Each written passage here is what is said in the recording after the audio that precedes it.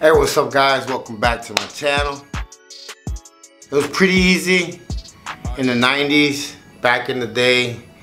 It was a different system, different buy, different everything, but today I'm gonna tell you pretty much how I made my first million dollars.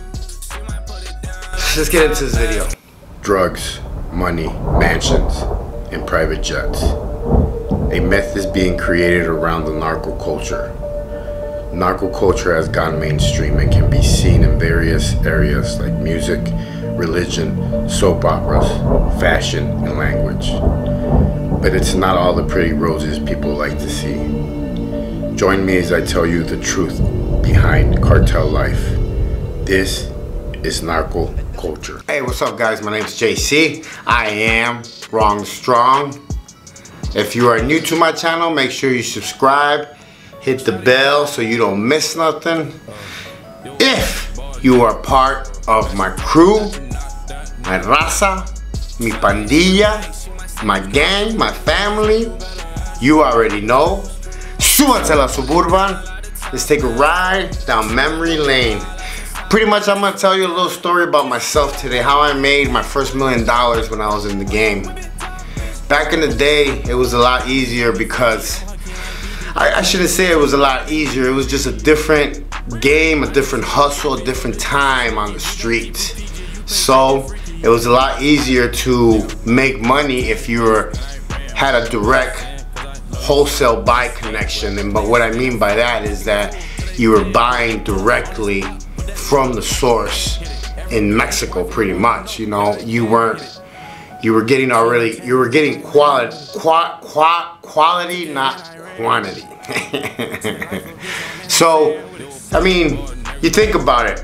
Every time a load makes it from one place to another, everybody likes to take their piece out and then put it back together and send it this way. People don't realize it ends up turning into a lot when you keep doing it and you're getting quantities. And what I mean by that is that say you get a load of 50 mattresses and you take one ounce off of each mattress. Now you have 50 ounces, you know? And it adds up like that. Then came the 90s and in the 90s came the re-rock. I actually got sent to Mexico to learn how to re-rock.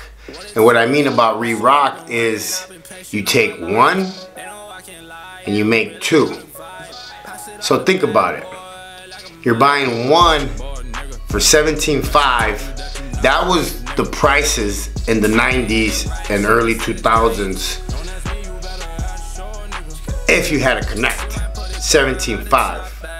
I used to get rid of them for 15.5 it, it is what it is. Like you know, a lot of people like used to like to make a thousand off each one. A lot of people used to like to make less. I mean, I really did. I wasn't greedy to a certain point. My whole thing is that I wanted to push them as fast as I could and get rid of them.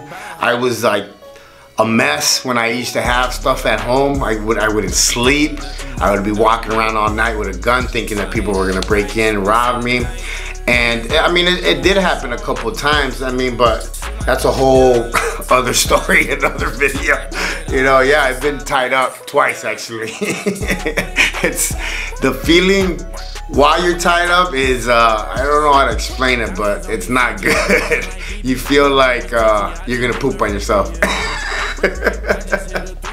And uh, on one occasion, I, I pissed on myself because you can't control it. The fear in your heart, like you, your life flashes through your eyes. So, you know, you your bowel movements are very hard to control.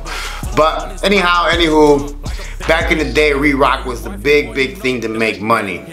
So like I said, you buy one for 17.5, you make two and you sell both of them for 17.5. If that not if that's not a come up, I don't know what is. That's how I made money because I was getting really good quality. Qual I was getting really good quality, and then I was making that quantity. And you know, for people, um, once for people that are buying on the street, by the time it hits the street, guess what? That shit ain't even 50%. It's already less than that. That's why you'll get those knots in your nose where you got erasers coming out of your nose. You feel like crap, you're pooping on yourself. And that's the funny part is that people do a bump and then they'll be like, oh my God, I'm pooping on myself. It's really good stuff. And I'm like, no, it's because they cut it with lactose. and that's why you're shitting on yourself. It's not that it's good shit, but in the addict's mind, it's good stuff because you're pooping and, and all that stuff. I mean, I know, I've been there. Guess what? I've been an addict too. I used to run around the house with a whole mattress in my hand, sniffing it all night, running around with a gun, laying on the floor, peeking under the door, telling my wife to shut up, that they were out there and that they were coming.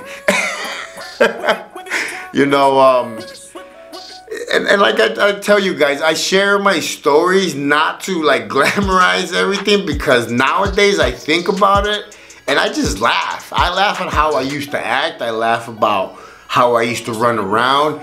And and that's the thing is that my, my whole point is to show you the other side of the coin because it's not what it's cut out to be.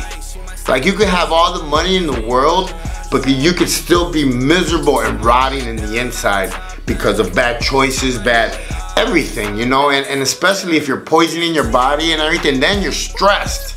On top of that, because you're constantly thinking that the feds are parked in front, and sometimes they are. sometimes they are. When you're moving weight, sometimes they are parked in front and they are following you. You know what I mean? And that's the thing. I go back and I remember when I was making all that money, I half of my head was actually bald from right here. It was bald. I never I actually thought that I was gonna have like um, that line, that reciting line that goes all the way back. But it was because of the stress. As soon as I got out the dope game and everything, and I went to prison and everything, my hair just grew back. It was the stress that was making me feel like that. You know, and, and the money in my in my closet.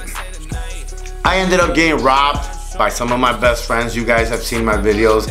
I ended up getting robbed by people that I try to help, you know, people that I would meet in the system and they got out. I'm gonna tell you a story on my next video about somebody that I met in the system that was actually like my brother brother inside there and then when we got out you know I was doing really really good so he got out and I, I looked out for him and he ended up robbing me he's not around no more. He passed away because you know he was he was an addict and and uh, he cleaned up while he was in prison. But when he got out, he ended up you know doing the same thing. My biggest problem is that I would trust people way too much, and I always wanted to see people win. You know, and that was the thing that when I was in the dope game.